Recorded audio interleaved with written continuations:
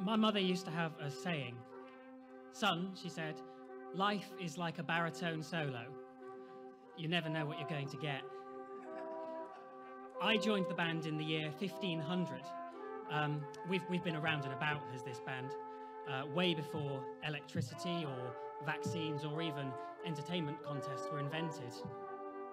My first concert for the band in the 1500s was for some young man named Henry. I didn't know very much about him at the time. He was looking for a corps of trumpets and sackbuts, he said, for his wedding feast. Oh, and I wrote my own piece, he said, and I want you to play it. And you don't really say no to a king with a request like that. Anyway, he called it Pastime with Good Company.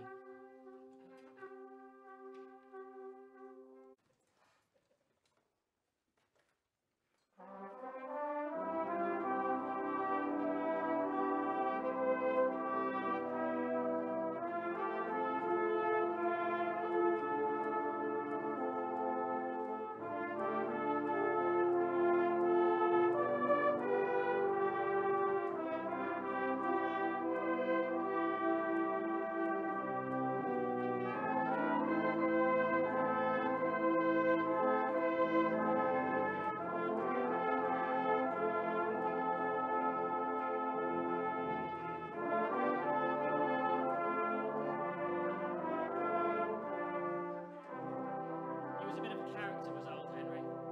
I suppose, in retrospect, like his wives, we probably should have seen the red flags.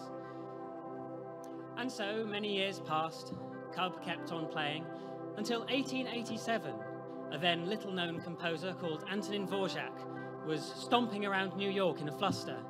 The, new, the premiere of his New World Symphony was that Saturday, and he didn't have a percussionist. They'd left him in the lurch.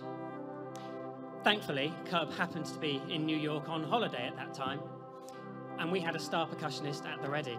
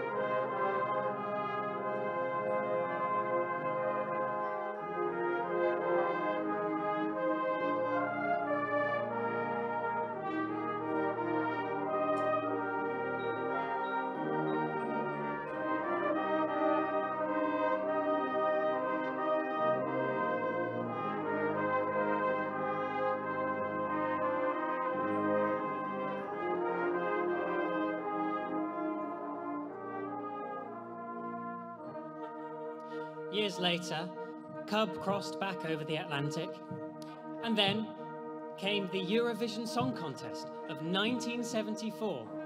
A group of four young Swedes. Um, they wanted to enter, but they couldn't find their sound, and they searched far and wide. And when it looked like they might despair, they happened upon a CUBB rehearsal. And this is what they heard.